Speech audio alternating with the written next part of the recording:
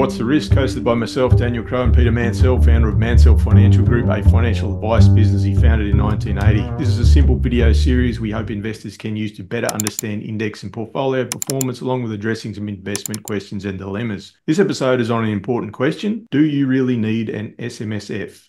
And to discuss this, we're joined by two financial advisors at Mancell Financial, Tristan Dallas and Georgia Eade, who have recently seen some unfortunate stories where investors may have not asked themselves this question before being convinced to start an SMSF. So, welcome, Tristan and Georgia. Thanks, Daniel, and thanks, Peter. All right, so your investment philosophy, a book we wrote, shameless plug, available at Amazon. Disclaimer, please pause and read. Suffice to say, our intent is educational, not rendering financial advice. Don't make a step to sign. These are simple concepts. We'd like investors to better understand risk so they can make informed decisions. Above all else, just remember this when you're considering an SMSF, you're basically on your own and no one is coming to save you if things are going south. You may not have access to any special compensation schemes. First, Tristan, and we'll get Georgia to follow up. So I was out having a Saturday morning walk and bumped into someone who I knew through a sporting organisation for many years ago. He knew what I did as a professional role, and we just started having a little bit of a conversation about that. And a couple of things that he raised with me really pricked up my ears. So I offered him the opportunity at some stage to come in and have a little bit of a chat. I also provided him with our book as well to give him a little bit of uh, a foundation of understanding. We met together uh, at our offices here and we started to unravel and unpack what had actually happened.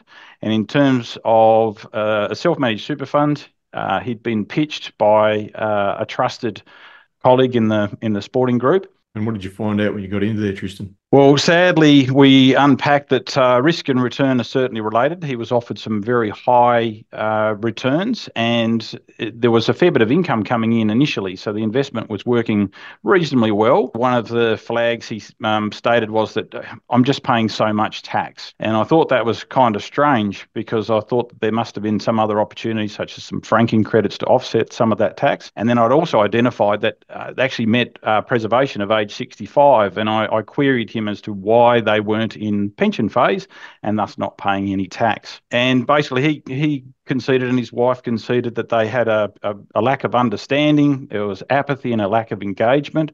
And also to their life and they had some other health issues that had actually got in the way of them really being fully engaged. And the flag was of course when they went to contact their accountant and their accountant's premises had closed the doors Tristan, uh, I recall you giving me a bit more detail than you've just described about the sort of high returns that had been promised, and in particular, the returns they'd been promised on the safe part of the portfolio. Well, that's right, Peter. Even the actual product, I think, was called zero risk. So they were led to believe that uh, there was no risk actually at all. And it, like I say, it wasn't until I actually unpacked, and I've you know, and and from them reading the book as well, particularly on the the risk and reward, uh, that identified that yeah, okay, then we we've sort of tapped out. We probably lost some dough here. And we had a look look around inside some of these investments that were that were placed inside the SMSF. They were all kind of related to each other in some way, and we actually found that one of them was actually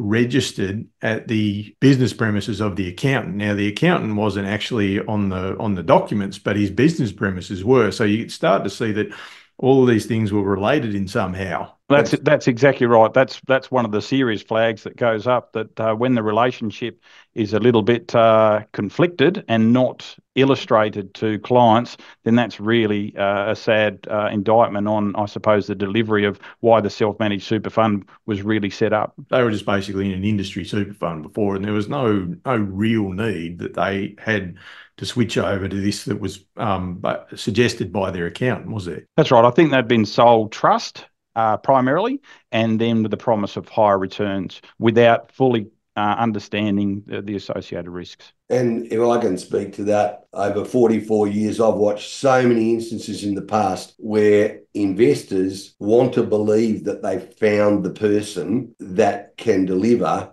the no risk, high return investments. And unfortunately, this case is a good example of that uh, this couple who were not sophisticated investors. They trusted someone who didn't have their best interests at heart. Why? Because they wanted high returns and they thought they'd found someone that could deliver that with low risk. I think that some of the self managed super fund products are actually being pushed for those approaching retirement because for, say, myself and Georgia and Daniel, we've been fortunate to start day one in the workforce with super.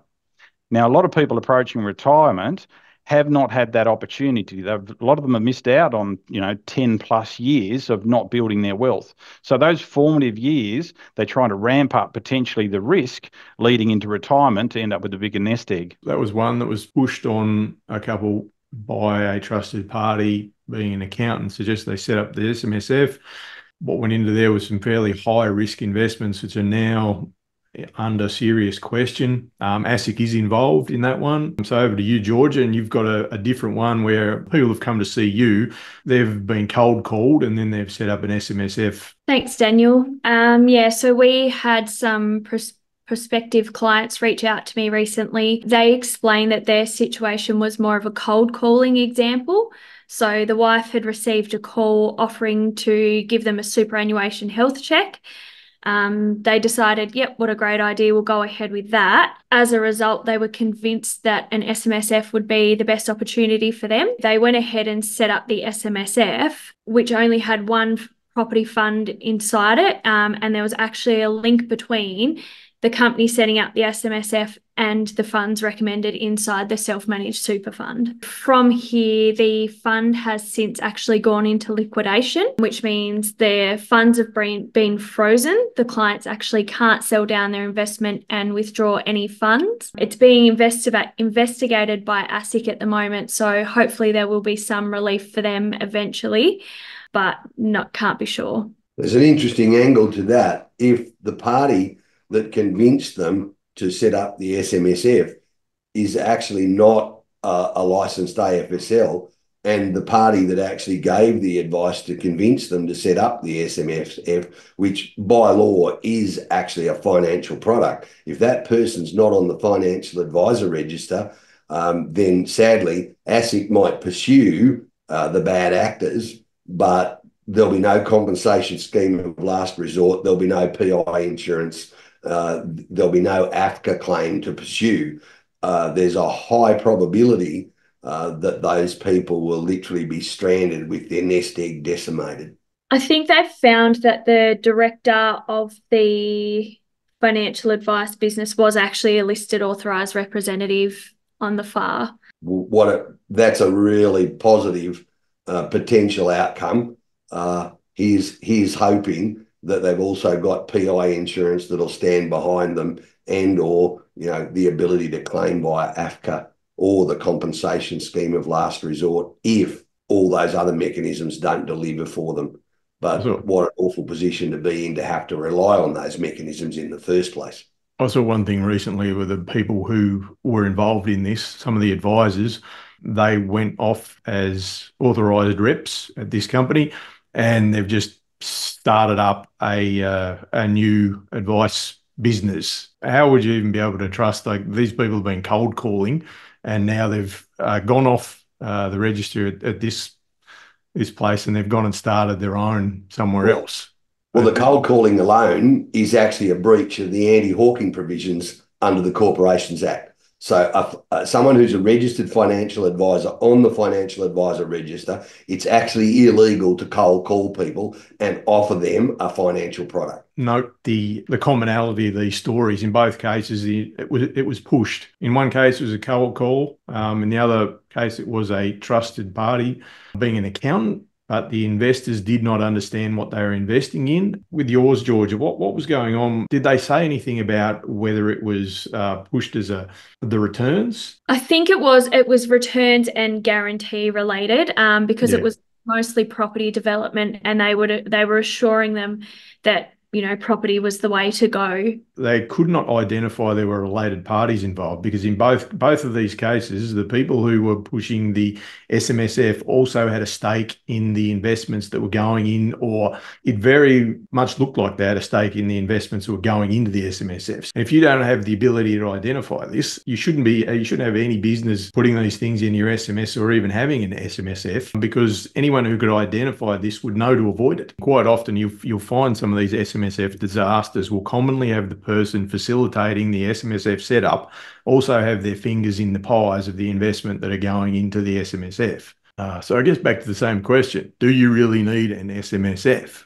In most instances, probably not. The first thing every investor should ask themselves if they're considering one is why am I doing this? Am I doing it because I'm being coerced? Am I doing it because I just so distrust professional money managers? Well, in the case of Tristan's client, they were in well run, low cost industry super funds with good long term records. It, it's pretty hard to justify that you can't trust the, the players that have been around for a very long time. Is it because it's your excitement, your ego to want to control your own investment? Well, you know, if it is, uh, maybe you should check that ego at the door. Make sure you understand why you're doing it and ask yourself the question Have I actually got the skills to do this myself? And if I have to rely on everyone else to do things, the answer is probably no. In, in the instance with you, Georgia, those investors, where was their uh, superannuation money?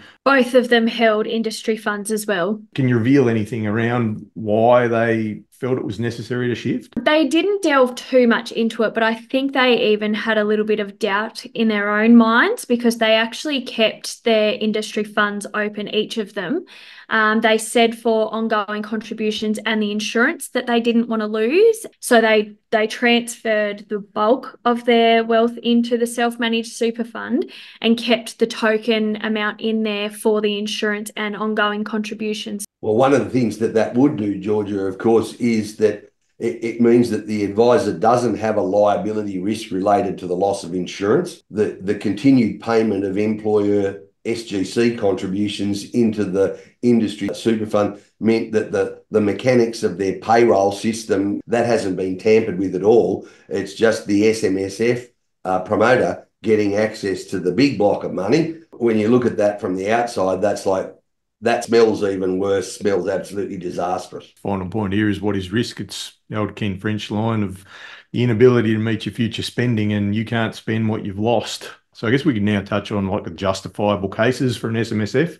I've certainly seen some fantastic outcomes for people where they've operated successful businesses and use their superannuation assets to buy the premises from within which they operate. That's great on a number of angles. It provides security of tenure, which allows for the continued, you know, uninterrupted operation of the business, provided the rents are paid at, at a commercial rate. That's as good as putting more contributions into your super fund. So for a business owner, it could well be that their business is capable of funding maximum concessional contributions but someone who maybe is making a late start to their super fund accumulations, as Tristan alluded to earlier, those members can benefit from significant rental income, which goes into the fund and is taxed concessionally. And you can say virtually the same things for a farm. Also, too, Peter, it doesn't actually mean an SMSF for life. There are certain you know time frames where uh, an SMSF is actually no longer required, and it's more beneficial to say move it to uh, another platform or an industry fund. Couldn't agree more. There's many, many instances that I've observed over the years, people getting into their 70s and into their 80s and asking themselves the question, do I really need this SMSF. I've sold the business premises, don't have them anymore. Why do I need this complexity? And particularly as people head into their advanced years, they look for more and more simplicity residential property. It's okay in some circumstances, but eventually you're going to have to meet your pension payments. Uh, most retirees, the vast majority of Aussies take their super at retirement in the form of account based pensions. Once you've hit 65, the, the minimum drawing rate is 5%, and then it moves to 6 and then to 7 and then to 8, 9. The average return on residential property from a rental perspective is 5% per annum before your holding costs. So the net rent is effectively around three to three and a half percent. So if you haven't got plenty of liquidity in your fund when you start at retirement, you're going to need it at some point. Residential property almost certainly cannot successfully deliver an income stream from an SMSF in the long haul for a retiree. Just one thing to touch on, particularly with the residential property, okay, in some circumstances, just because it's worked for somebody else doesn't mean it's going to work for you. So I did have a young client or prospective client that wanted to set up an SMSF because her auntie had done so um, successfully investing through property. And I just had to warn her because it's happened for your auntie doesn't mean it's going to happen for you, particularly with running costs and understanding what it actually entails to, to run an SMSF. Uh, for me, you've got to find out what the rules of engagement are before you hit the pitch. Uh, I've seen it with so many people, uh, even in terms of being an executor. Uh, it's nice to be an executor noted on a will, but actually, when you are the executor, the complexity that's actually revolved around that to fulfill that role. And I think so many people that start self managed super funds like to get into it with a positive understanding that they believe they know what's going on. But as we know, a little bit of information is quite a dangerous thing at times. And then once they're in, I think they don't really know how they can actually unwind themselves from those responsibilities.